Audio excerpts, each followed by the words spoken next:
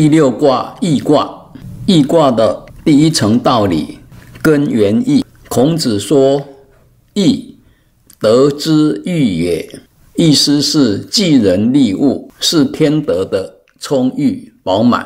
第四十二卦风雷易卦讲到损卦是减去，也就是缺失、减略、节省、不足。易卦是讲满足、增加、丰盈、富厚。知道损卦会有缺欠，一定要均匀，就减损自己来追求均平。知道易卦有满盈的兴盛，就要警戒自满，来保持安和。因此，损益的道理是圣人指示所有人安定经济、调和生活的大原则。虽然固守性命道德、私心欲望还没有除尽，必须要做到惩愤自愈的内圣功夫。虽然动时醒察，静时存养很严谨，可是天理还没有很纯粹，必须要做到博施济众的外王事业，来充裕天德，然后可以处困境而自在亨通。利益上位叫做损，利益下面叫做义。损的根本在义，义的招显在利，利是。道义的总和，有一个人没得到利益，就不是真正的利益。私心利益就是伤害。要完成礼乐综合，才能大利天下。所以易卦是德行的宽大充裕，做到损容易，做到易卦很难。损卦是情势逼迫，易卦是自愿奉献，不是明摆天道，不能化难为易。只有圣人才做得到利益天下，治理世界要这么做，治理家庭也要这么做，理财要这么做，积德行善也要这么做。扩大充实来说，内圣外王的要领完全包含在损益两卦的大用当中了。易卦的第二层道理，实践易。孔子说：“易常易而不赦。”意思是振兴一切，利益万物，没有限量。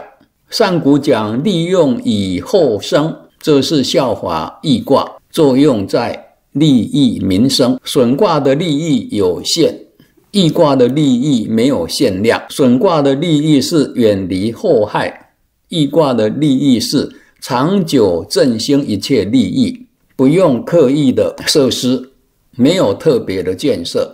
所以说义。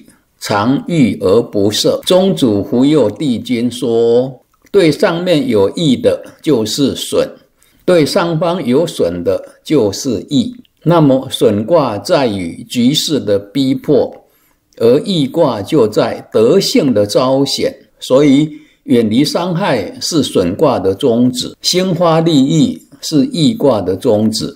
最简单又最明白的。所以。”损卦的损下而益上是不得不损，益卦的损上而益下是不可以不损。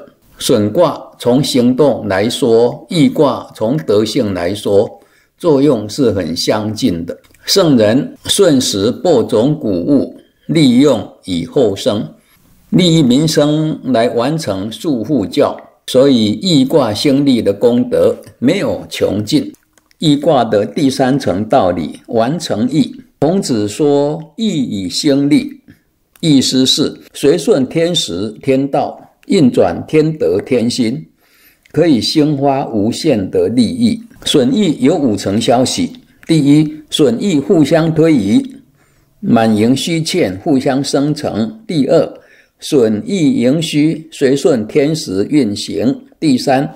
天地的常道没有空虚，不会回归满盈。第四，阴阳的能量没有下降，就没有生阳。第五，先消减，然后生息，一切的生育就会有成就。宗主忽佑帝君说，损益有四层作用：第一，可以节制调和天地的时令；第二，可以主导。引领人物的性情。第三，可以穷尽天下道化的机制；第四，可以立定天下的终极。所以损益都是吉祥的卦，因为有平均的作用，有其一的功德。虽然上下有不同，而和平是一致的。尚书说：“满招损，谦受益。”从天道的时运就可以证明损益的道理。因为太满了，一定会损失；虚欠不足的，反而会受益。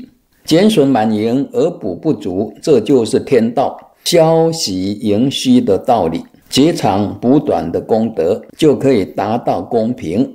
达到公平，就可以同化进入大同，这是太平盛世首先要做到的事。所以，人是能顺天合道，开悟成悟，通天下之治，定天下之业，断天下之疑，就可以兴发无限的利益。